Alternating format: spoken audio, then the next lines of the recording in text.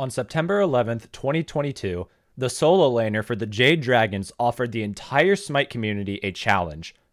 Win one ranked game in each role on stream as fast as you can. The timer starts when your first game starts and ends when the Titan dies in the last game. In the rule set, you are not allowed to play on a Smurf account unless said Smurf account is around a similar MMR to your main account. First place gets $500, second place gets $350, and third place gets $150.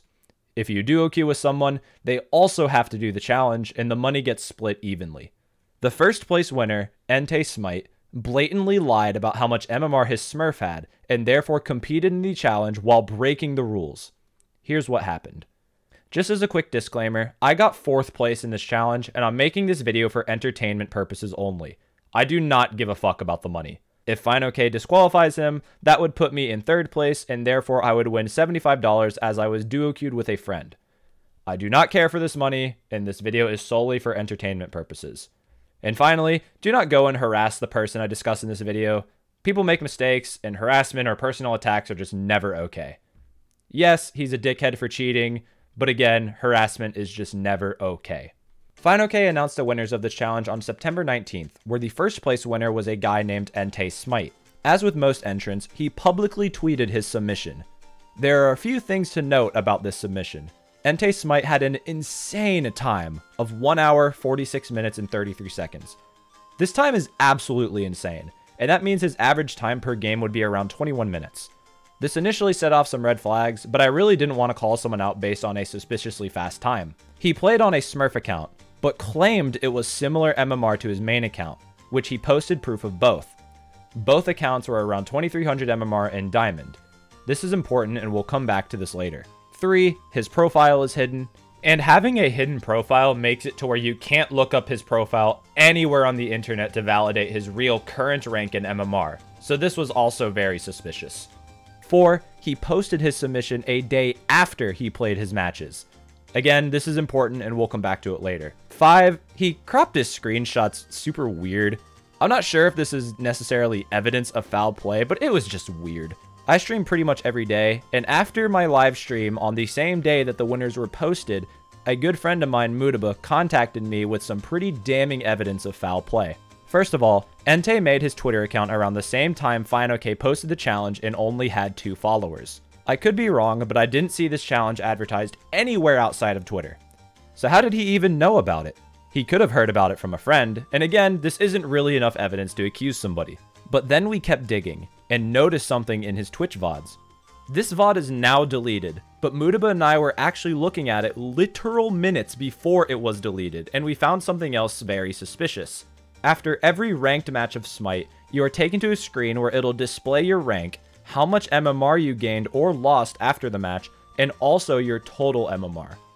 Entei conveniently blacked out his stream before his screen was displayed to his viewers, therefore not allowing people to validate his MMR during his run. This is where I started getting open to actually accusing someone of cheating because everything was just really suspicious.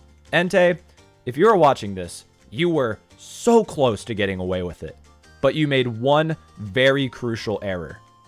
You left your match IDs in your submission, and therefore allowing people to search up each match on Smite Guru.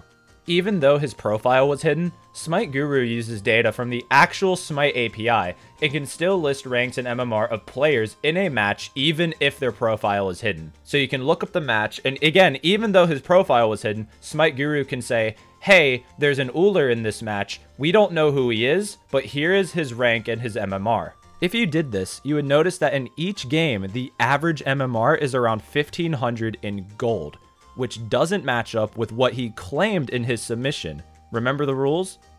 No smurfing unless the second account has the same MMR. This is the definitive proof that he cheated. He claimed his smurf account was in diamond, when in actuality, it was in gold. I then decided to DM FineOkay about the evidence and proof, and I made a tweet about it. Hey, Entei Smite. Firstly, congrats on winning FineOkay's Ranked Speedrun Challenge. Question, how come in your submission tweet you said that the account you played on is 2300 MMR in Diamond 3, but when I looked up the match ID of the final game in your submission, you're in Gold 2?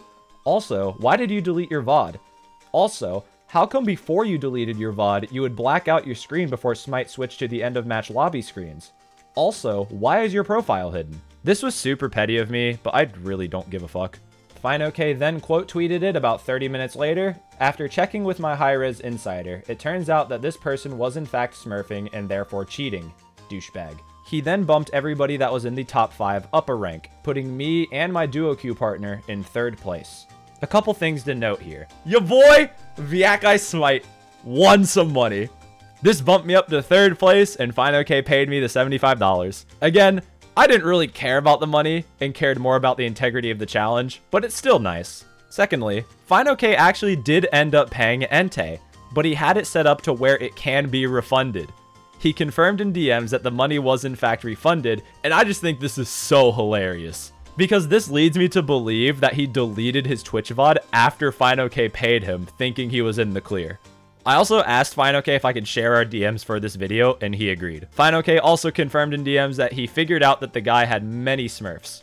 With all that being said, this is my theory on how he did it. My theory is that Entei was participating in the challenge on multiple smurf accounts to get in easier games, therefore having better odds at getting a faster time. He may have had attempts on multiple different accounts, as if he keeps winning on one account, he'll eventually reach higher skilled lobbies, making it harder for him to win. While he was streaming attempts, he blacked out his screen after every game to not show the end of match lobby and hide the MMR he was playing in. Eventually, he got a time he was happy with and took a screenshot of his match history. He then continued playing on the same account that he got this run with to reach a similar MMR to his main account. Once he did this, he took a screenshot of his new MMR to prove that his MMR was similar to his main accounts. I genuinely believe that if he simply cropped out the match IDs of his submission, he would have gotten away with it. But thankfully, Mutaba was smart enough to track him down from those match IDs. On top of this, since his profile was hidden and he deleted his Twitch VOD, there would have been no way to look up the matches he was in without the actual match ID. As I said in the beginning, he cropped his screenshots really weird, so I'm not really sure why he did that, but it's kind of ironic that he cropped his screenshots weird but didn't crop out the match IDs. Before ending the video, I want to say a few things.